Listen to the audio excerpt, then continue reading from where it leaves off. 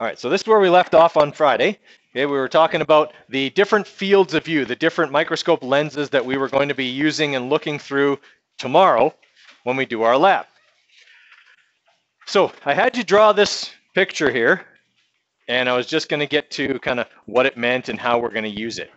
All right, so the first lens that you're going to look through is the scanning power lens. It's the short little red one. Okay, it's got a red stripe on it. It gives you the largest field of view or area that you can see because it has the lowest magnification. Okay, the more you magnify, the smaller the area you're going to be looking at. Okay, and you can see that as we progress from 40x to 100x, okay, the size of our field of view shrinks. And then when we go to high power, it shrinks even more. Okay, and it shrinks like linearly as well. Okay, I went from, if I go from 100x to 400x, my area decreases by a factor of four.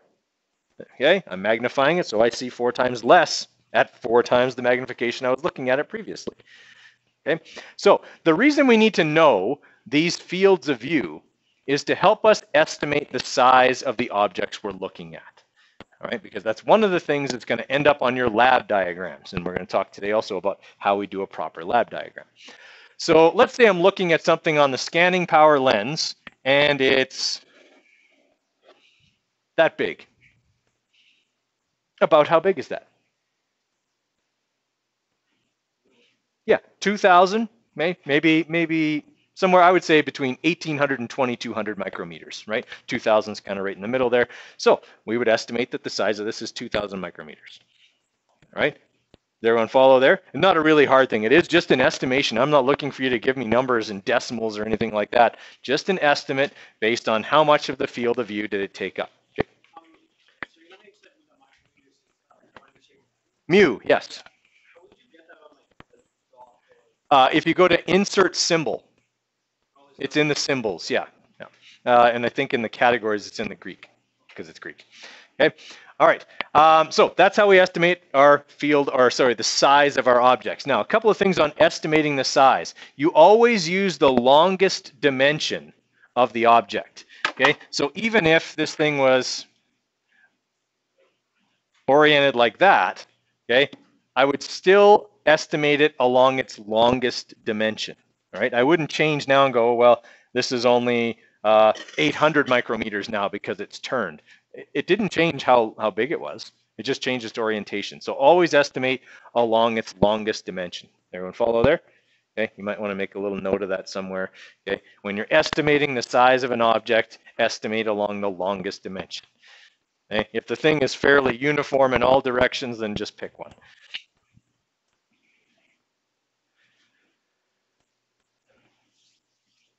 Okay, everybody all right with that?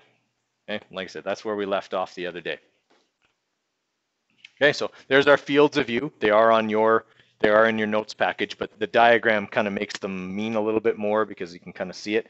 Okay, and when we're estimating the size of the object, we can estimate how many objects would fit across, about two in the case we just did. Okay, and then divide the field of view by that number. 4,000 divided by two is 2,000, right? Or you can just go, it's about half, 2,000 and, and be done with it. Okay, whichever way. Remember, it is just an estimate. Okay, questions on that? Right.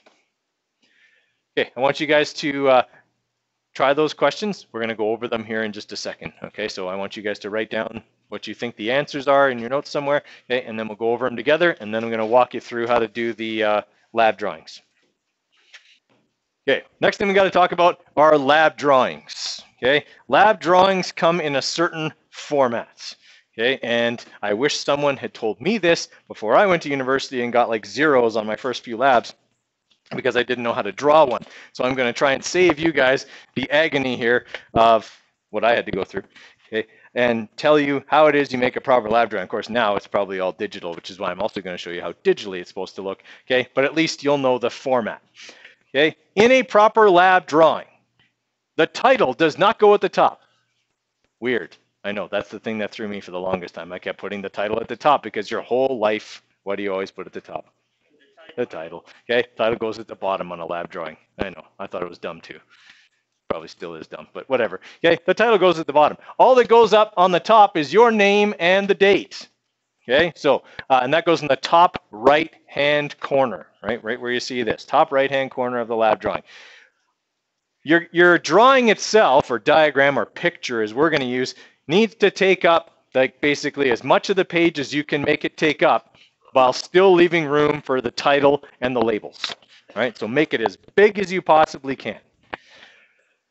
All right, so that's what we can see here. This is the top of the page. We can see down here is the bottom of the page. So it's big. Okay, I made it take up as much room as I could, but I still left room for all my labels.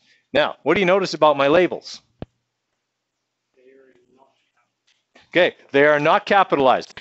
Not something I'm terribly worried about, but none of these are capitalized. What else? What do you notice? Where do they all go? Right. They all go to one side. I don't care what side that is. It's usually the right-hand side, but there's nothing hard and fast about that rule. Okay.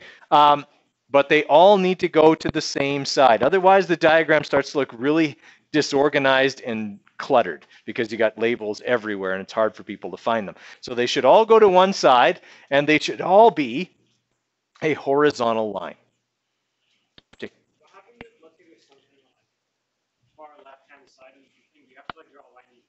Right through it. Yep.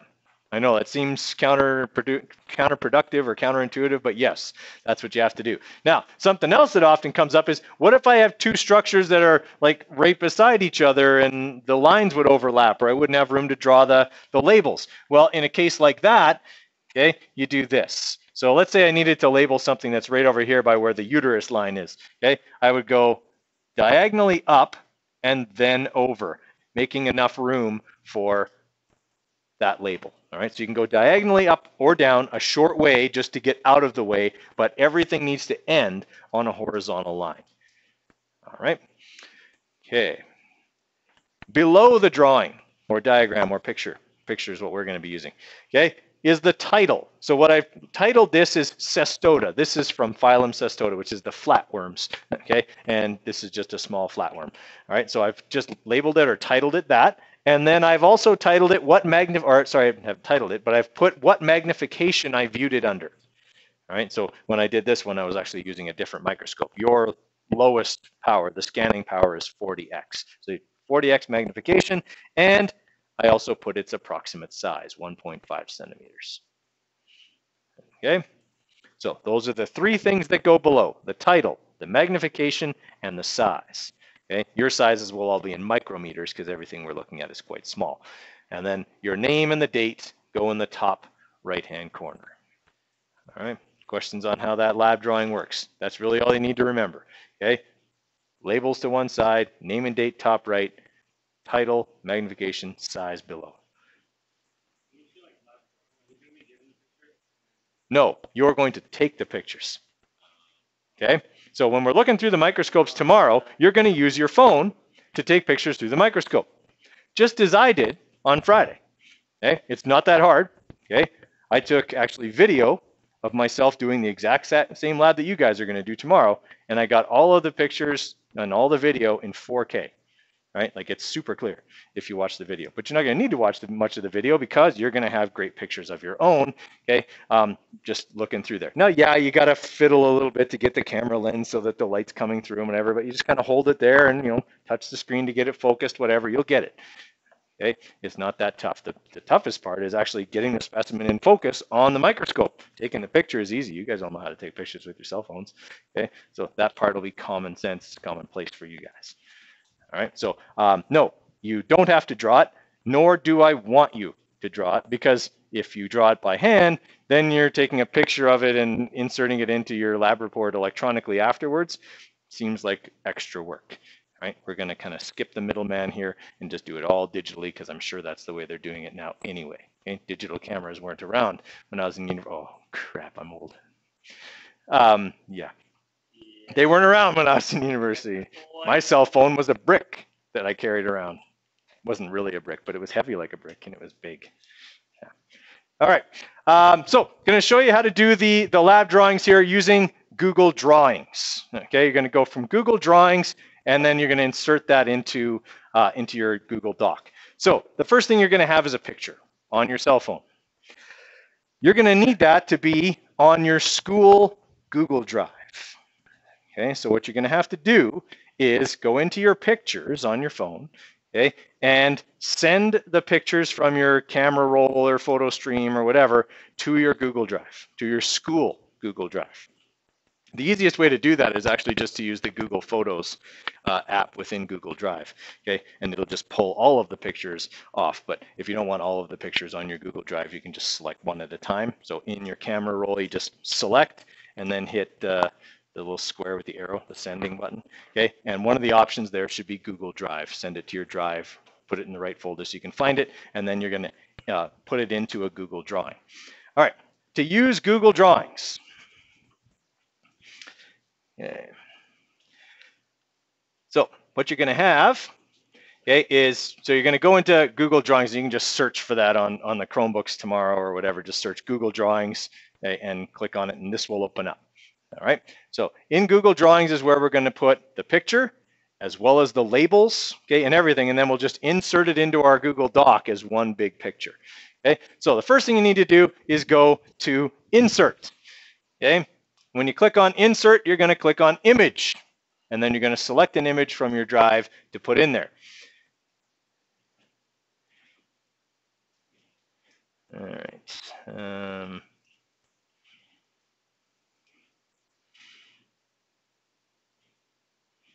I had a picture of an amoeba in here somewhere.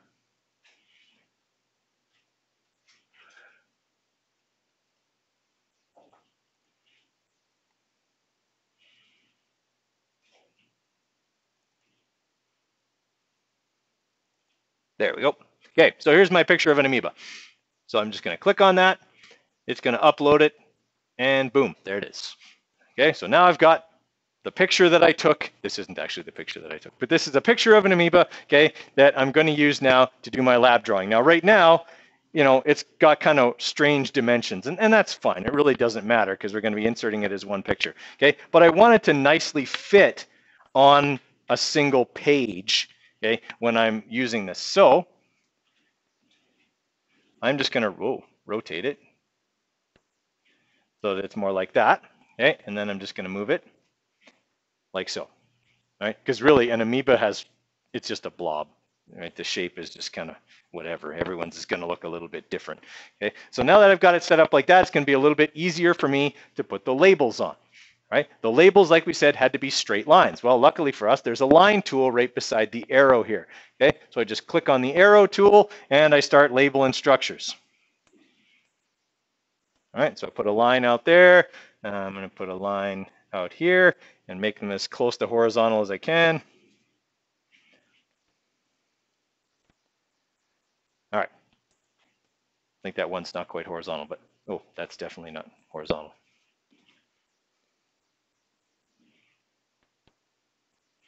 That's a little better.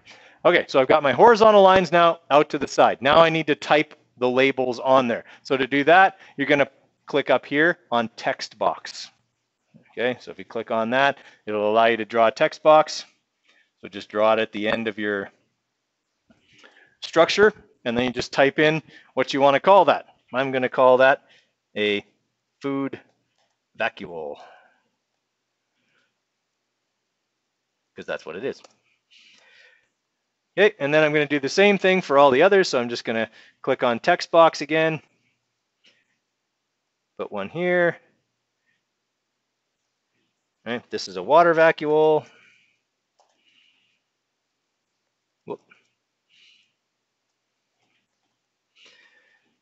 And put another one down here. This is the nucleus. And another one here. This is the cell membrane.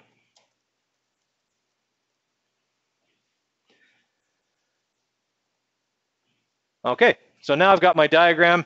I mean, you, will have a little bit more than that. Okay, so I've got my labels on there. Now what do I need on there? Name and date, where does that go? Top right hand corner, okay. So I'm to quickly put that in as well. Just use another text box.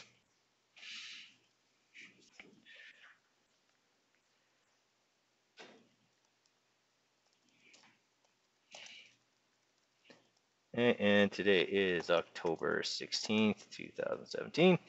All right. So I've got that. Now what else needs to be on there? The title. Okay. Now I'm going to put it down here. I made this a little bit too big to kind of really work very well, but that's okay. It'll still work.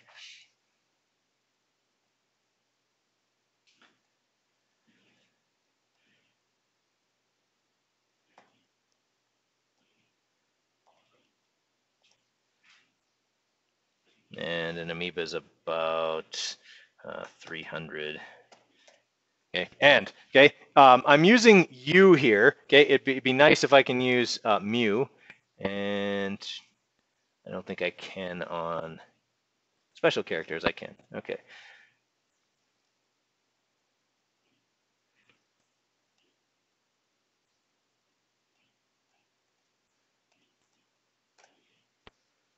There it is. There's mu. Okay.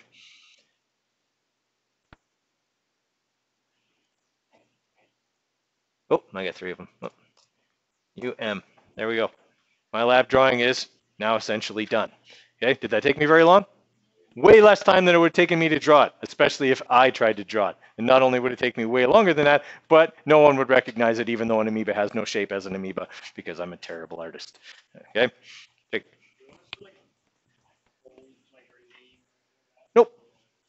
Just leave it how it is. All right, so now that that's all done, now I need to export it, okay, or save it in a different format. Okay, so I'm going to download it as just a JPEG, okay, just a simple file. All right, so it'll show up down below here, okay, and then you just want to put it in a folder where you can find it. It always ends up in the download folder, okay, for whatever reason. I'm going to give it a real name, like amoeba, and then whoop, and I'm going to take it out of there and put it somewhere where I can find it easily. Okay, like I don't know, maybe on the desktop or something. All right, so now I've got it there. Then I can insert it very easily into a Google Doc. Okay, so that would be your lab report template okay, tomorrow when we're doing this. Okay, so I'm just going to make a blank one here so you can see what it looks like. Okay, then I'm just going to go to Insert, Image.